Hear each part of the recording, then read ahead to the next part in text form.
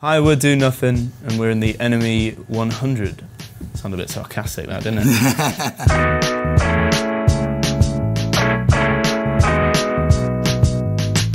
if I were to describe our music in three words, it would be daft, rambly nonsense. First song people should check out is LeBron James, because it came out very recently. It's their newest single. It's probably the, the easiest one to slide you into our music. Uh, well, one of my musical heroes, which is technically two people, uh, it would be Simon and Garfunkel.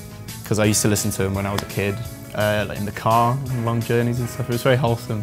And I think like because of nostalgia, like anything that you listen to when you're a kid just becomes like classic. My biggest musical heroes be Jeff Buckley, I think.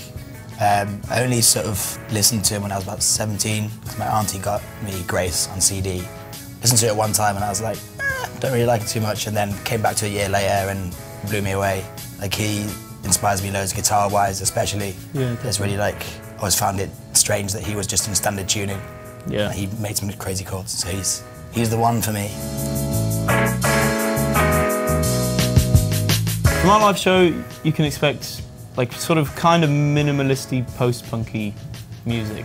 You can expect to see a daft lad wearing a suit and lots of like shouty, talky stuff. Daft rambly nonsense. Daft rambly nonsense, before. as we previously said. By the end of 2020, I want to be rich as fuck.